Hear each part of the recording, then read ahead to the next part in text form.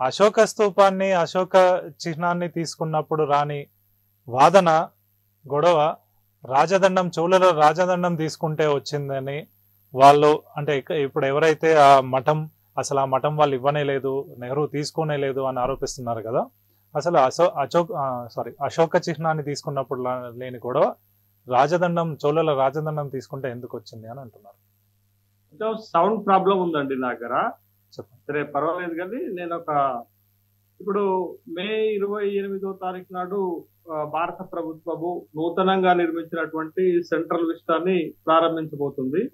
ఆ సందర్భంగా రెండు ప్రధానమైనటువంటి వివాదాలు దేశ ప్రజల ముందుకు వచ్చాయి ఒకటి ఆ, సెంట్రల్ విస్టాని భారత రాష్ట్రపతి కాకుండా భారత ప్రధానమంత్రి ప్రారంభించడాన్ని దేశంలో ఉన్నటువంటి ఇరవై ప్రధాన రాజకీయ పక్షాలు అటెండ్ కామనేటటువంటి ఒక వివాదం అయితే రెండో వివాదం ఏంటి అని అంటే సెంగోల్కి సంబంధించినటువంటి రాజదండము ధర్మదండానికి సంబంధించినటువంటి ఒక వివాదం. ఇప్పటి వరకు అలహాబాద్ మ్యూజియం లో ఉన్నటువంటి సెంగోల్ని ఇప్పుడు కొత్తగా నిర్మించినటువంటి సెంట్రల్ విస్టాలో పార్లమెంట్ అంటే లోక్సభ భవనంలో ముఖ్యంగా స్పీకర్ ఛాంబర్లో ఈ సెంగోల్ అనేటటువంటి దాన్ని రాజదండాన్ని ధర్మదండాన్ని అక్కడ ప్రతిష్ఠించాలని భారత ప్రభుత్వం నిర్ణయించుకున్నటువంటి సందర్భంలో. అసలు సెంగోల్ ఏంటి? దాని ప్రాధాన్యత ఏంటి? అది ఎందుకు భారత పార్లమెంట్లో పెట్టాలని ప్రభుత్వం నిర్ణయించుకుంది అనేటటువంటి విషయం పైన ప్రస్తుతం ఉన్నటువంటి ప్రభుత్వము ఒక విధమైనటువంటి ఆర్గ్యుమెంట్ తీసుకొస్తే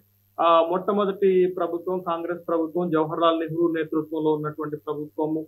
ఆ అప్పుడు ఇప్పుడు కాంగ్రెస్ ఇంకొక వాదాన్ని తెరపైకి తెస్తుంది అంటే సెంగోల్ అనేది రాజదండం కాదు కేవలం అది ఒక చేతికర్ర అది ఒక బహుమానం మాత్రంగానే చూడాలనేది కాంగ్రెస్ పార్టీ అంటే లేదు లేదు. అది భారతీయ సంస్కృతికి చిహ్నము. అది అధికార మార్పిడి జరుగుతున్నప్పుడు ఒక రాజ ముద్ర అది రాజదండంగా ధర్మదండంగా ఉపయోగపడిందని ప్రస్తుత ప్రభుత్వం చెప్తున్నటువంటి వాదన. అయితే ఇక్కడ మనం గమనించాల్సినటువంటి అంశం ఏంటి అని అంటే లార్డ్ మౌంట్ బాటన్ నుండి అధికార మార్పిడి అంటే బ్రిటిష్ ప్రభుత్వం నుండి భారత ప్రభుత్వానికి అధికార మార్పిడి జరుగుతున్నటువంటి సందర్భంలో జరిగినటువంటి సంఘటనలు ఏంటి? అది చరిత్రలో చరిత్ర ఎప్పుడు కూడా వివాదాస్పదం అవుతుంది చరిత్ర చరిత్ర వాస్తవాలు ఉంటే వివాదాస్పదం కాలేదు కానీ ఇలాంటి ఇలాంటి అంశాలపైన చాలా సందర్భాల్లో వివాదం జరిగినట్టుగా వివాదాస్పదం అవుతున్నట్టుగా మనం చూస్తున్నాం. కాబట్టి చరిత్రకారులు ఇది చరిత్రలో చాలా స్పష్టంగా రాయబడి ఉంటే వివాదం లేకుండేది. కానీ దీనికి సంబంధించినటువంటి అంశాలపైనే వివాదం ఉంది.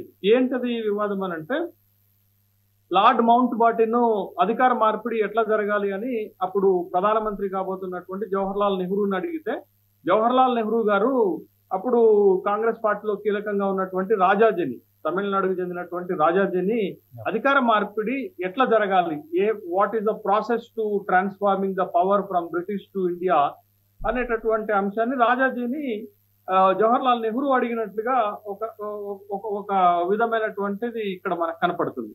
రాజాజీ ఏం చేశారంటే అప్పుడు తమిళనాడులో ఉన్నటువంటి ఒక పీఠం ఒక పీఠాన్ని తిరువావదు తురై పీఠాన్ని సంప్రదించారు. ఆ పీఠం వాళ్ళు సజెస్ట్ చేసిందే ఆ పీఠం వాళ్ళు చెప్పినటువంటి సలహా మేరకే ఈ సెంగోల్ అనే రాజదండాన్ని ఓ తయారు చేశారు ఆ పీఠమే తయారు చేసి ఇచ్చింది ఆ పీ ఆ ఇచ్చి ఆ పీఠం ఇచ్చినటువంటి రాజదండం ఆధారంగానే అధికార మార్పిడి జరిగింది అనేటటువంటి ఒక స్టోరీ ఒక ఒకటి. మన. తెలుస్తున్నటువంటి అంశం అయితే ఇక్కడ మనం గమనించాల్సినటువంటి ముఖ్యమైన విషయం ఏంటంటే తమిళనాడులో సంబంధించినటువంటి ఈ పీఠము ఎందుకు ఆ సలహా ఇచ్చింది అంటే తమిళనాడు లేకపోతే ఈ దక్షిణ భారతదేశంలో కొంత సంస్కృతి ఏంటి అని అంటే ఆ మనకి ఇప్పుడు మీకు అక్కడ ఉన్నటువంటి రాజవంశాలు. రాజవంశాలలో అధికార మార్పిడి జరుగుతున్నప్పుడు ఆ మ- అధికార మార్పిడి జరుగుతున్నప్పుడు జరిగేటటువంటిది ఏంటది? రాజు నుండి యువరాజుకి పట్టాభిషిక్తుడిని చేస్తున్నటువంటి సందర్భంలో ఒక ఖడ్గాను లేకపోతే. రాజముద్రను ఇచ్చి రాజరికంలో అధికార మార్పిడి జరుగుతుంది కాబట్టి ఇక్కడ ఒక సంప్రదాయము పల్లవ సంప్రదాయము ఉంటుంది తర్వాత మీకు తమిళనాడుకు వచ్చేసరకు మీకు.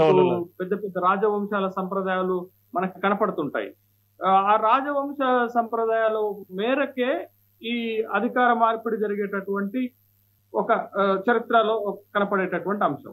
ఇక్కడ మనకి ప్రశ్న ఏం ఎదురవుతుంది అధికార మార్పిడి జరుగుతున్నప్పుడు భారతదేశంలో రాజరికం ఉందా? బ్రిటిష్ వాళ్ళు వచ్చినప్పుడు రాజరికం. ఉంది. ఉమ్, కానీ బ్రిటిష్ వాళ్ళు వచ్చిన తర్వాత ప్రజాస్వామిక సంప్రదాయాలను లేకపోతే ప్రజాస్వామ్య వ్యవస్థని భారతదేశంలో కూడా తీసుకొచ్చారనేటటువంటిదే కదా మనం చూస్తుంది. ఇప్పుడు బ్రిటిష్ రాజ్యాంగం నుంచి అనేక విషయాల్ని మన భారతదేశం ఇప్పటికీ ఫాలో అవుతుంది కదా. కాబట్టి అప్పుడు అధికార మార్పిడి జరుగుతున్నప్పుడు రాజరికం లేదు కాబట్టి ఈ రాజరిక సంప్రదాయాన్ని అప్పుడు వాడారా? లేదా అధికార మార్పిడి అనేది ఒప్పంద పత్రాల మేరకు జరిగిందా? లార్డ్ మౌంట్ బాటన్కి నెహ్రూకి మధ్య ఒప్పంద పత్రాల మేరకు జరిగిందా? అధికార పత్రాల మేరకు జరిగిందా? ఒక రాజరిక సంప్రదాయంలో అధికార మార్పిడి జరిగిందా అనేది స్పష్టత వస్తే ఈ వివాదానికి మనం ముగింపు పలకవచ్చు.